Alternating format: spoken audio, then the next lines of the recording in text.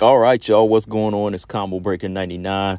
Back with another video. All right, y'all, back with some big news. I love waking up from a nap to this type of news. I just be, you know, dozing off and then waking up and just hoping for some good news in this world of WMMA. And it looks like we got a fight, y'all. We got a fight. It's going down. It's going down for March 4th. UFC 285, we got the flyweight champion Valentina Shevchenko taking on none other than Alexa Grasso. Like I told y'all. I think I told y'all that. I, I remember telling y'all that it was going to be Alexa Grasso, right? I remember saying it was going to be Alexa Grasso. Y'all knew it was going to be Alexa Grasso when it came down to it. Because, look, first off, Valentina Shevchenko, she's hungry. She's hungry. I know that Santos was out there, right? I know Santos could have been available for December, but they didn't want to make that fight. So, what's going to happen? Manon is out on surgery. What's going to happen? Alexa Grasso has to step up. We all know what she said. She wants another fight for experience, a five round main event. But she said if it came down to it, if they offered a fight, she would take it. And that's what's going to happen here because there was no other choices for Valentina Shevchenko. So, boom, it's going down. Valentina gets a fight first quarter of 2023 the way it should be, right? Like I said, when it comes down to the one through five, somebody's got to be ready. There's always got to be a choice there on backup just in case like the number one or number two contender can't make it, right?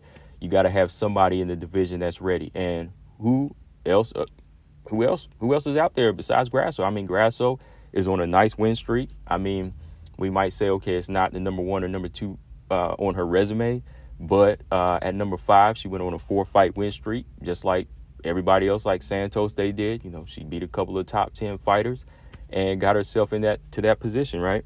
As y'all can see the resume right here. Valentina's 23 and 3. Alexa Grasso is 15 and 3. And she's got six years of experience in the UFC, um, undefeated at flyweight. That's it, right? Uh, should be a good fight. It should be a good fight. I mean, Valentina Shevchenko said, hey, if I can't get Manon Fiorot, I want the next best thing, which is Alexa. And she was impressed by Alexa's performance uh, against Viviane Araújo. And I know, like, the hardcore fans like myself – we look at the fight and we say, okay, that's Viviane Araújo. That's far, far from the champion. But hey, when it comes down to it, and you fight your way up, and you go undefeated like this, it's time to step it up. And I'm hoping that Alexa Grasso, she is prepared for that test. Um, I'm hoping she prepared for this one because it's the final exam. I mean, you know, look, Alexa, she shows great skills when it comes down to her stand up. You know, she's been perfecting her ground game. You know, that's something that they've really been working hard on. Shout out to my man Sleight of Mind, who's always, you know, keeping me posted on what he sees and, you know, some of these fighters that he sees whenever, you know, he's around them because he's in there training as well. Um, you know, of course, I put his name out there as a fighter, but we all know him as Sleight of Mind. I know him as Sleight of Mind, right? He knows who he is, right?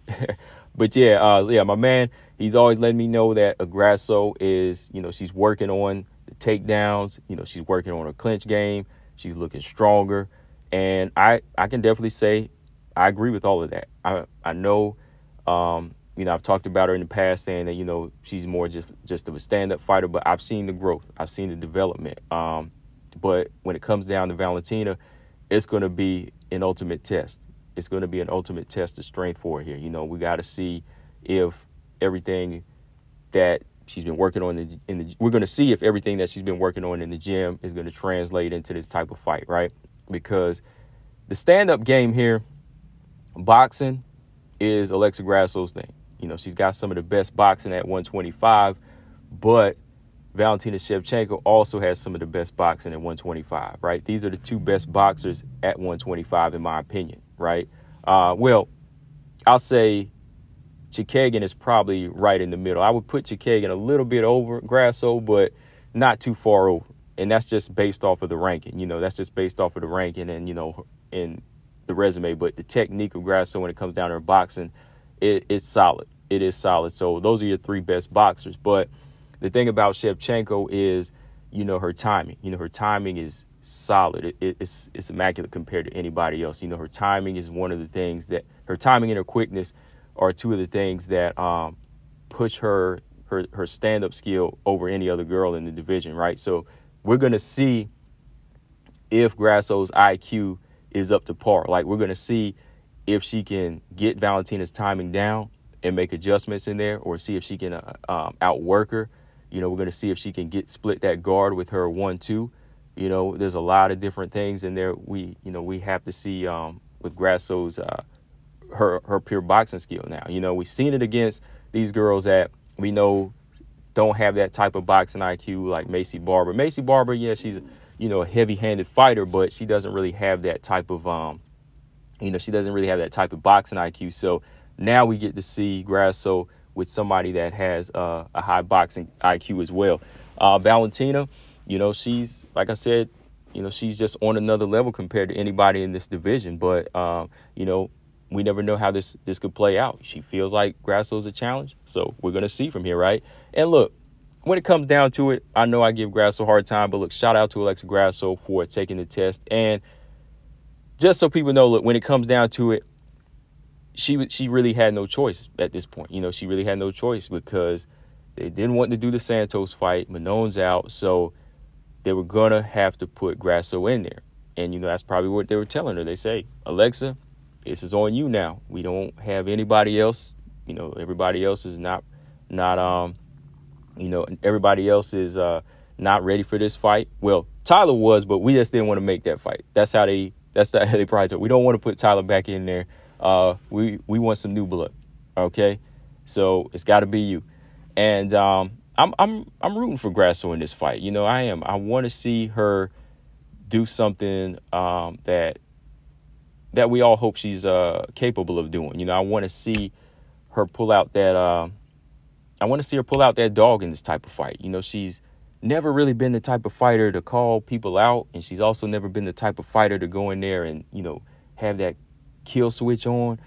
Um, her technique is on point, but when it comes down to her that, that, her dog sometimes she just don't let loose like that. You know, that's why she hasn't had too many finishes in the UFC. She's only really had what one, right?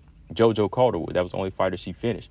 Uh, my opinion, there's fighters she could have finished in the past, like Ji Yeon Kim, even Maycee Barber, but uh, you know, just never really stepped on the gas like that. But in this fight here, man, against Valentina, to get Valentina's respect, she's going to have to go in there and step on the gas. Now, not be reckless and go in there and get and get stopped by a head kick or something like that, or walk right into a, uh, a Valentina takedown and get submitted. No, I'm just saying like she's got to assert herself. You know, she's got to sit on her punches, and she's got to be aggressive with leg kicks.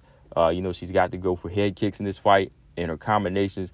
She can't have too much pullback. She's got to she's got to have some sit down on it once she adjusts to that one two of Valentina, or Valentina comes in with that straight left hand. You know, you got to be able to uh, get Valentina's respect in these fights. Like the only fighter we know that really got Valentina's respect was um, Amanda Nunes, right? That's pretty much it. Um, Taila, she did for a few rounds, but even then, after that, we all know Shevchenko. She settled into that fight, but she did get her respect to a certain level. So yeah, I, I put her on that. That um, I put her on that um that list as well. Somebody got respect. But Grasso got to get the respect, got to be the dog in this fight. Shout out to Grasso for accepting the fight. You know, like I told y'all, she had to do it. But some of y'all still trying to say Manon duck. Hey, no, I, I think that if Manon didn't have that surgery, she would have been the one that would have to take this fight. That's what I'm saying. Like they got to be on their stay ready because if it wasn't Grasso, she would have had to been the one because Shevchenko said it. She said, "Hey, I want her, but if I can't get her, it's gonna be Grasso." All right. So yeah, this just my pre-fight discussion, guys. I'm I'm hyped for this one. Um, I've heard there's also been talks of Amanda Nunes versus Irene Aldana on the same card, right? I believe should be on the same card, and I mean this card is starting to shape up to look like a solid one. So you know I'm definitely going to be on calling this whole doggone card, man. It, it, it's going down. Valentina Shevchenko versus Grasso. Look, I'm I just I'm just hoping that Grasso proves us all wrong. When it comes down to it, I want her to prove me wrong. I want most of these fighters to prove me wrong. I want to be able to say, wow, they showed a warrior's heart. They gave the champion a good fight. Let's do it. Shevchenko Grasso, Combo Breaker 99. Give me y'all thoughts. I'm out. Subscribe. Peace.